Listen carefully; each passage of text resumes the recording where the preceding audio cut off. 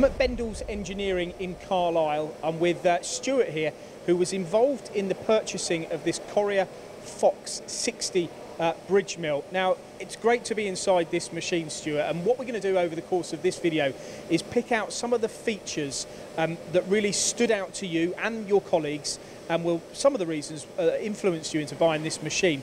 Now, let's start, Stuart, with the, the head technology here from Correa Right. because this is the UAD head, and I know they have patented technology within um, their heads, don't they? All built in Spain, go through rigorous testing. Um, what does this head offer you as a company on this mill? Mainly, the, the, it's indexable at every point zero two of a degree.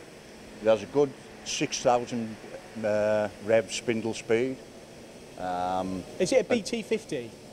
it is BT, uh, ISO 50, big ISO plus 50. spindle.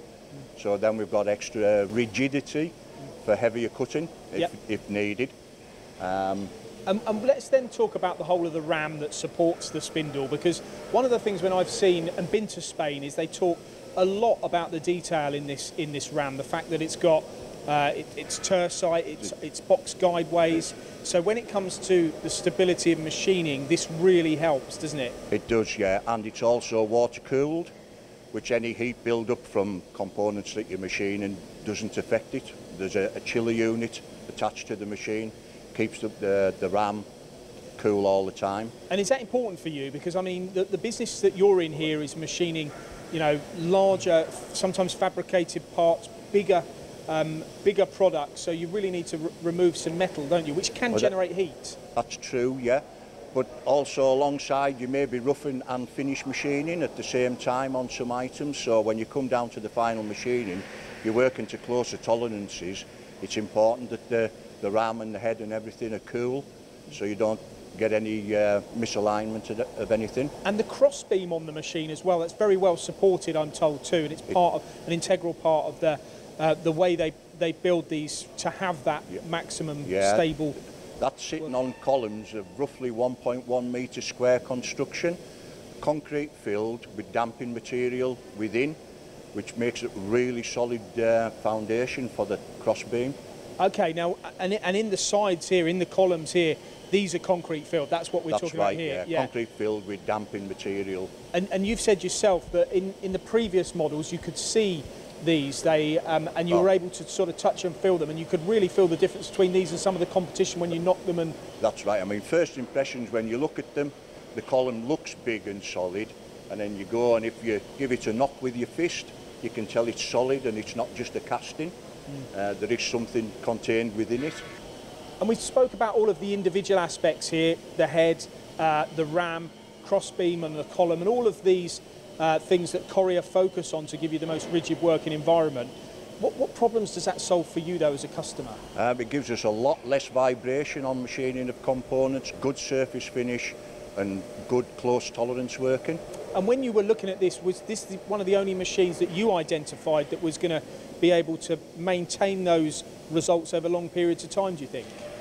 It was the best fit for our needs. Um, some machines that we looked at had good roughing capability, some had good finishing capability, but the Fox 60 give us a really good combination of both.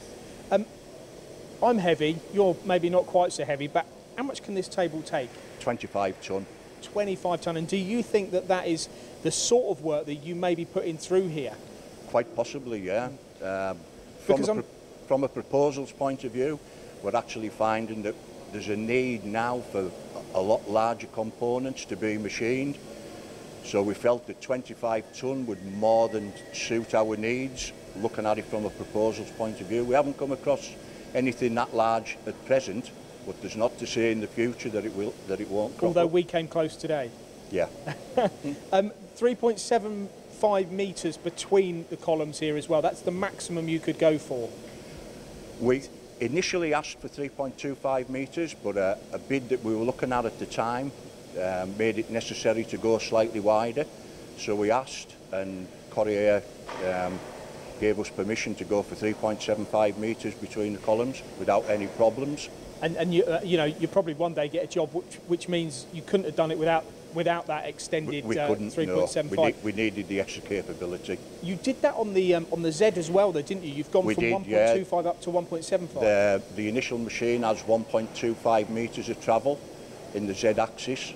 We asked if we could have 1.75 metres, which uh, Correa were happy to do for us as well. And, and there's no concern with the ram coming right the way down that you're going to get any sort of deflection or anything like that. I suppose the box guideway construction helps. no, no. Uh, the, Correa assured us of this. Um, it was sturdy, even with the ram right down at the bottom. Now I'm picking out loads of points here, and I know I'm putting you on the uh, spot a bit, Stuart. But there is so much detail in this machine. Another Yeah. point is the rack and pinion, the movement of the table. I mean, this this table moves at 25 Right, meters metres. a minute. I mean, you know, you can get. Did we say 25 tons moving at that sort of speed? That's that's incredible. It does actually, um, it weighs up what weight it's got on the table, so it wouldn't actually set off and move at 25 metres a minute right away. It has a build-up to that. Okay, but there's So some the- there's some element of, of of software in there that's determining what the weight What- is what and how fast it should move. yeah. But part of that movement process is the rack and pinion, which is different from the ball screw, which I'm, again I'm told is a is a far better mechanism for axis For, travel for backlash and what have you, yeah, and for moving at them, them kind of speeds.